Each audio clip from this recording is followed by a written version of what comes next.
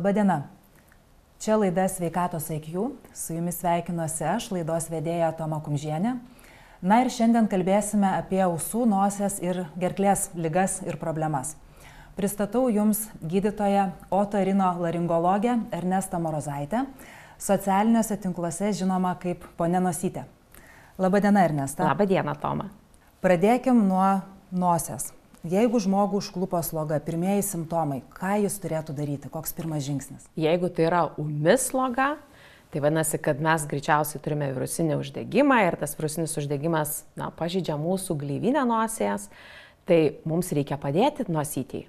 Kaip tą galime padaryti, tai vadinasi, drekinkime aplinką, e, vedinkime patalpas, Ir be bejonės plaukime nosį ir plaukime izotoniniu tirpalu, kurio druskingumas yra toks pat kaip mūsų lastelėse esanti druskų koncentracija, kad mes neskatintume didesnio paburkimo arba, tarkime, džiuvimo nosies gleivinės. Čia jūs kalbate apie tuos tirpalus, kurie yra parduodami vaistinėse. Ar galima tiesiog druską įsimesti į šiltą vandenį ir išsiplauti nosį? Be abejonės galima ir patys pasidaryti tą tirpalą.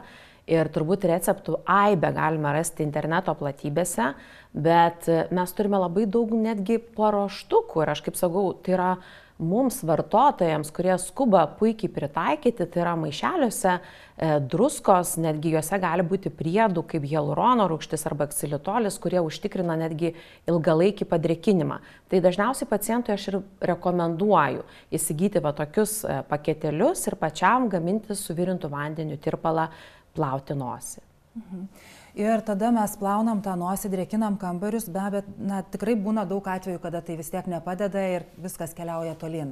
Kada jau pradėjome? Be abejonės, kad būna tokių atvejų ir būna sunkių naktų, kai visiškai užburksta nosis ir to sekreto gausiai, tada mes dar rekomenduojam um, įsivesti keletai dienų, tai vadinamus tokius dekongestantus arba nemizuojančius lašus į nosį, liaudiškai tariant, tai yra sutraukiantis lašai, greitai veikiantis, jų vaistinėse apstumės, lengvai galime juos pasiekti ir įsigyti, bet, vad kaip ir minėjau, juos naudoti reikėtų ribotai iki penkių dienų laiko. Jie greitai sutraukia glyvinę, mes gaunam visai neblogą rezultatą ir tikrai galima labai lengvai prakvepuoti arba net dar geriau įsiplauti nosį po tokio vat, įsiplauti apsipurškimo. O kas bus, jeigu žmogus vartos juos ilgiau, jisai gali priprasti, ar kažkokie pokyčiai vyksta? E, taip, tai yra didelė bėda, kas liečia šitos vaistus.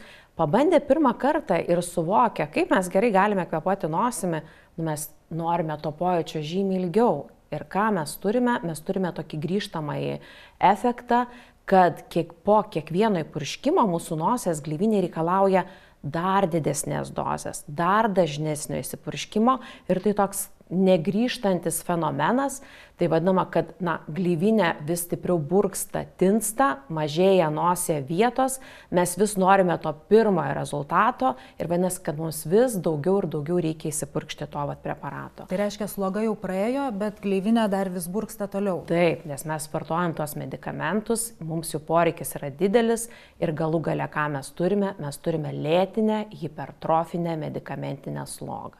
Ir ką gydytojai patarė daryti tada? O tada mums reikia kažkaip tai atprasti nuo šito narkotiko, kaip mes sakom, nes tai iš tiesų didžiulė priklausomybė.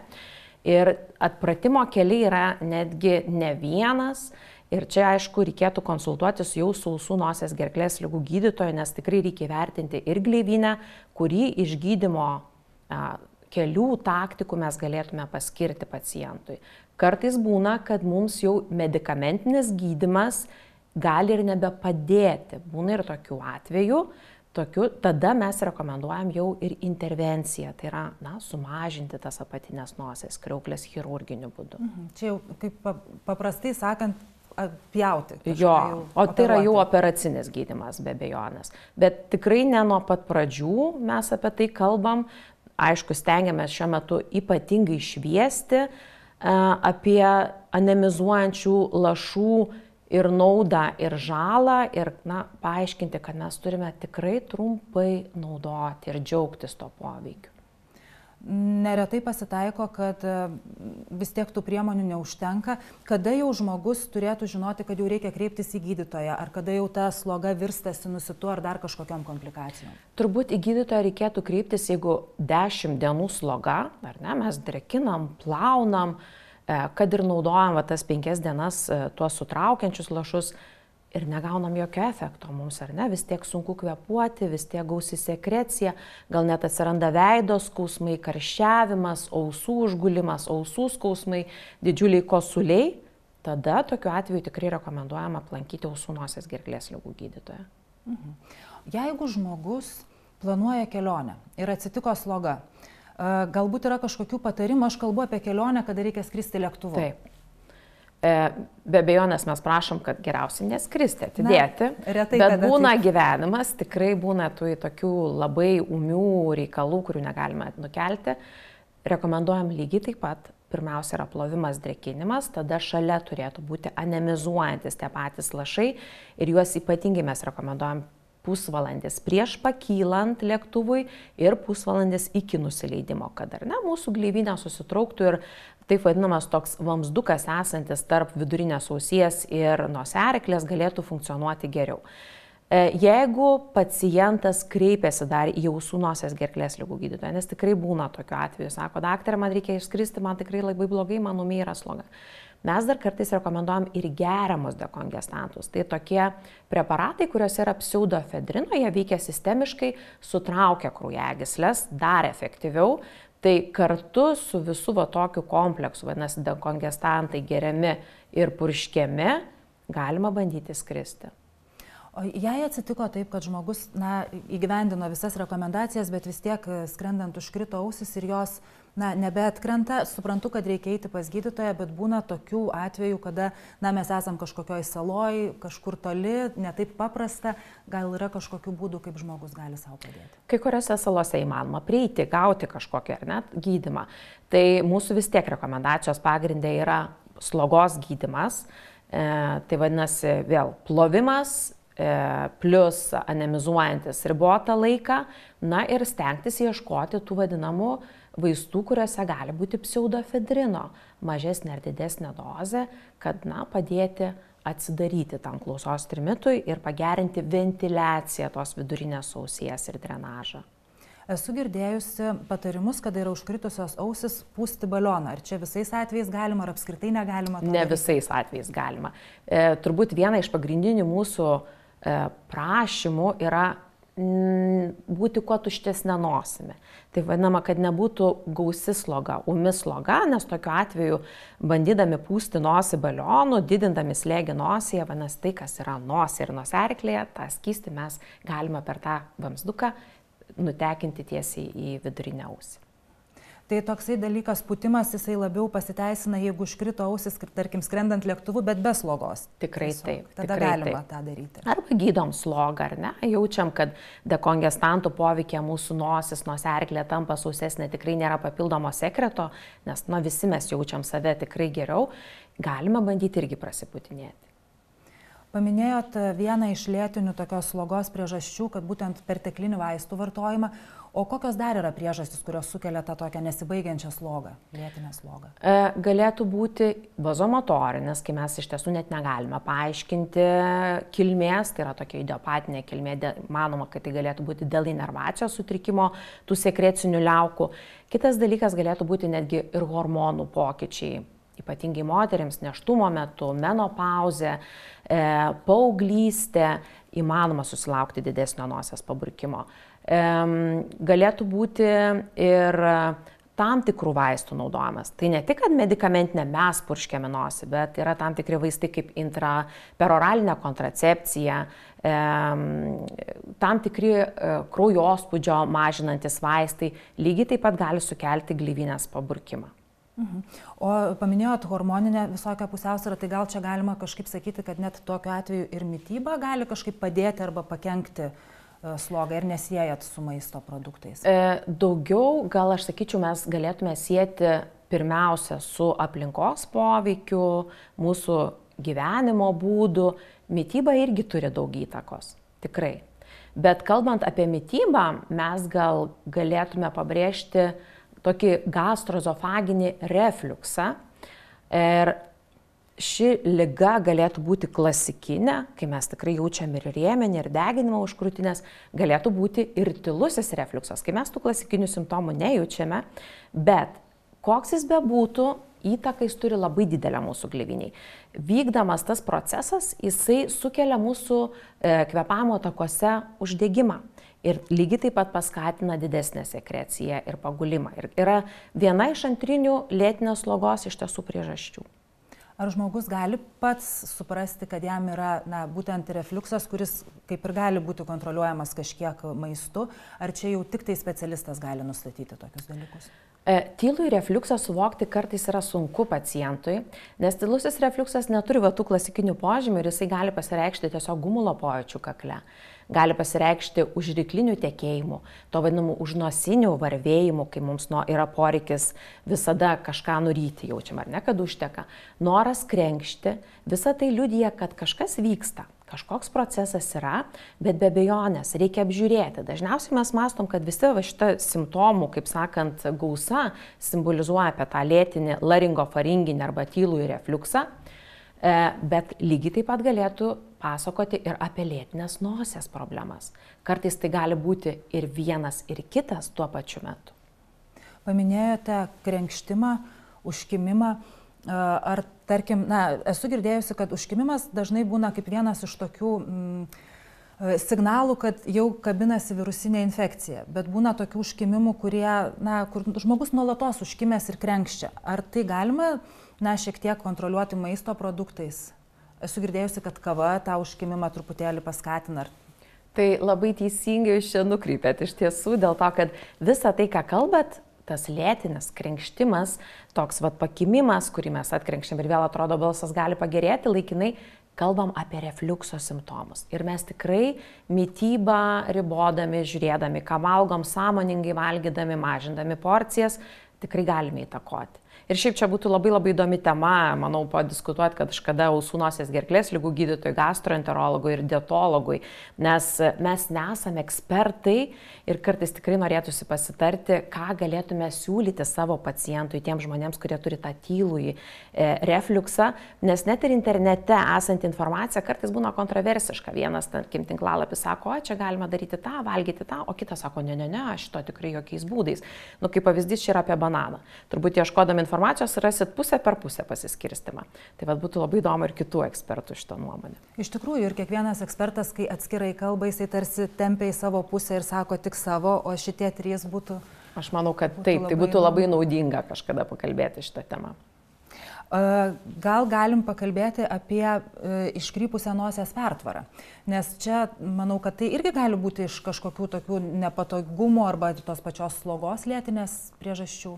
Labai teisingai. E, be abejonės iškrypusią nosies pertvarą turi daugelis mūsų, mąstoma, kad apie 80 procentų žmonių ją turi. Bet funkciškai ne visiems jinai pasireiškia. Tikrai didžioji dalis mūsų gyvenam ir nieko nejaučiam. Tačiau esant stipresniam iškrypimui e, gali tikrai prasidėti lėtinė sloga. Kodėl? Vienas dalykas, jeigu tai yra labai stiprus iškrypimas, vadinasi, kad jis mechaniškai spaudžia e, visą šoninę tarkim, nosies sieną ar tam tikras struktūras, kaip apatinė ar vidurinė nosies kriauklė. E, tokiu atveju manoma, kad na, sutrinka pirmiausia ir mukociliarinis klirensas, tai toks vadinamas gleivinės kaldra, kaldra, kurią stumia mūsų plaukeliai, kiekvienas kvėpavimo takų, kaip sakant, kiekviena lastelė turi plaukelius, kuri stumia dirba ir mes tiesiog tą gleivinės kaldrą nuryjam, tai ta pusė mažiau funkcionuoja. Na ir kas gaunasi kitoje pusėje, kad mes turime ten žymiai daugiau vietos ir mūsų organizmas e, turi apsaugoti patenkančią didžiulę nos, oro srovę per tą didžiulę, tarkim, landą ar ne, per daug daug vietos. Tai vadinasi, kad ir ta nosies apatinė kriauklė, jinai turi padidėti, tam, kad nepraleistų didelės oro srovės, nes oras turi būti apšildytas ir sudrėkintas. Ir gaunasi, kad ta viena didelė ertmė, kurioje nėra užkripimo, jinai dirba dvigubai taip pat. Tai e, be bejonės pradžioje toks pacientas gali jausti, kad gal aš blogiau kvepuoju, tarkim, dešinėje pusę, nes kairė kaip ir kompensuoja, bet su laiku mes galime pradėti jausti, kad ir kairė blogėja, blogėja, nes lygiai taip pat gleivinės kiekis joje kaip ir didėja. Ar gydimas tokiu atveju jau tik chirurginis, ar yra kažkokios pagalbos be peilio? Greičiausiai kalbėtume tik apie chirurginį gydimą, nes net ir e, tam tikri nosies purškalai, kurie veikia, tarkim, priežastinį mechanizmą mažindami uždegimą, nu jie padėtų tik vienai pusiai. Vadinasi, kad na, niekas neištiesintų nosies pertvaros. Nėra tokios tabletės ar, ar tokio purškalo, kuri galėtų padėti ir gražinti tą fiziologiją, kad galėtume kvepuoti to lygiai abiejomis pusėmis. Ar operacija sudėtinga? Techniškai jinai nėra sudėtinga e, pati operacija, tačiau labai reikalinga yra pooperacinė priežiūra, gera pooperacinė priežiūra, ką mes tikrai dažnai aptarim su pacientais, kaip reikia valyti, plauti, bet kartais būna labai sudėtingų nosies pertvaros iškreipimų. Ir be abejonės kartais netgi tenka dirbti kartu ir su plastikos chirurgais, kad mes tuos iškirpimus galėtume išspręsti. Nes nosies pertvaros iškirpimai gali būti kartu lydimi ir su nosies formos deformacija.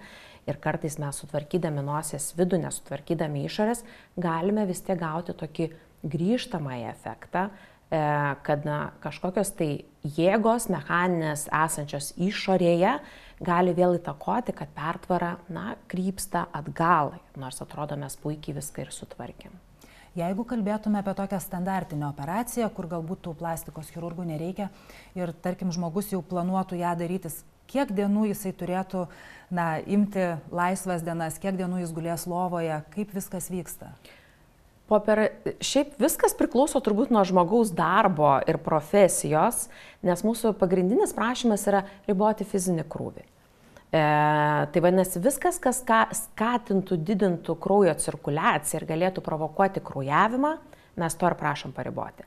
Tai riboti esant fiziniam krūviui, dvi savaitės sakome, bet tai nereiškia, kad pacientas jisai gulės lovoje. Ne, jisai minimaliai gali vaikščioti, jis tikrai gali turėti tam tikrą veiklą, kažkokius minimalius darbus būtyje. Um, tačiau visą tą laiką yra labai svarbu prižiūrėti, tai vadinasi, plauti nosį, lašinti tam tikrus riebalinius lašus, kad nosytė nedžiūtų. Ir be abejonės turbūt pačios sunkiausios tiem žmonėms būna pirmosios kokios penkios dienos, nes po jų būna stiprios logos jausmas, kuris palengva turėtų mažėti, mažėti ir ta situacija gerėti. O kaip e, su skausmu? Operacijos metu, aišku, žmogus nieko nejaučia, o paskui? Pooperacinis laikotarpis šiaip yra neskausmingas. E, gali būti, es, kai yra tamponai nosies ertmėje, tas toks bendras tempimas, kažkoks vad galvos tempimas, bet skausmo pačios nosies nebūna dažniausiai. Na, 95 procentai tai tikrai. Norėčiau dar paliesti truputį kitą temą, kuri irgi yra labai plati, bet na, nors truputėlį, tai yra knarkimas. Tai aišku, ir ta pertvara turbūt gali sukelti ir daugelis kitų priežasčių. E, kokios pagrindinės priežastis yra, kad žmogus knarkia? Galime iš tiesų pradėti nuo, nuo pertvaros, ką mes palėtėm, kaip juokiamės, kad pertvaros iškirpimas yra turbūt sudėtingiausia partneriui, kuris guli šalia tavęs, nes, na, tu gali ir garsiau kvepuoti dėl to iškirpimo ir knarkimas gali būti dėl to, nes ar ne, nepakankamai kvepuojam nakties metu nosimi. E, Kitas e, dalykas, na, iš tiesų yra trys aukštai mūsų ausų nosies gerklės lygų, tarkime, tam diapazone, kas galėtų būti ir įtakoti tą knarkimą. Kitas aukštas tai būtų ryklė, ką mes išsižiojam ir matom, ar ne, tai yra gomurinės tonzilės, ta vadinama angina, minkštasis gomurys, kur yra ležuvėlis, gali būti labai siaura, gali būti mm, nepakankamas raumenų tonusas e, šioje vietoje. Tai tada mes irgi mastome, kaip chirurgiškai būtų galima tą išspręsti ir ar įmanoma išspręsti. Na ir trečias aukštas tai yra liežuvio šaknis, liežuvio tonzilė ir angerklis. Tai irgi ta vieta, kur gali lygiai taip pat įvykti audinių suglebimai, dėl ko gali įvykti vibracija minkštų audinių ir sklisti knarkimo garsas. Ar turite kažkokių patarimų knarkiančiam žmogui? Galbūt jis, na, gal kartais užtenka kažkokios nedidelio pokyčio, kad tas knarkimas sumažėtų arba liautųsi?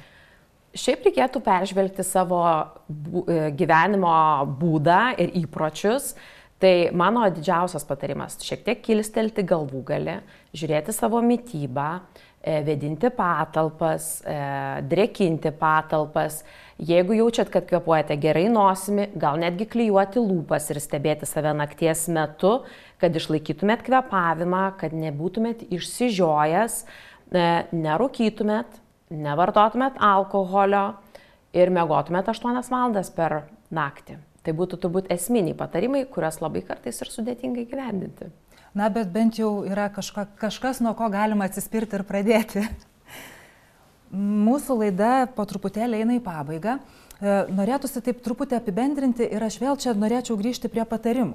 Jūs labai gražiai, na, paaiškinot, ką reikėtų daryti tam knarkiančiam žmogui, o galbūt jūs pasiūlytumėt patarimų žmogui, kuris, na, norėtų nesirgti arba rečiau pasigauti slogą? Kaip jis turėtų irgi gyventi, valgyti, drėkinti, nežinau. Taip, tai yra labai dėlė tiesa. Net yra atlikti tyrimai, kad e, nevartojant alkoholio, nerūkant, e, turint pilną vertę mytybą, vartojant vaisius daržovės, e, miego režimas, fizinis aktyvumas, kas turėtų būti lydima kasdien ar ne mūsų rutinoje, visa tai sumažina e, riziką sirgti Na, o jeigu susirgame, sumažina trukmę, vadinasi, mes žymiai greičiau pasveikstame. Tai be abejo, nesakyčiau, visiems mąstyti apie savo gyvenimo įpročius ir juos keisti, kad ir mažais žingsneliais įsivesti savo gyvenimo pokyčius. Ačiū Jums labai, dėkui už pokalbį. Su mumis buvo ausų, nosės ir gerklės lygų gydytoja Ernesta Morozaitė. Iki pasimatymo kitą savaitę.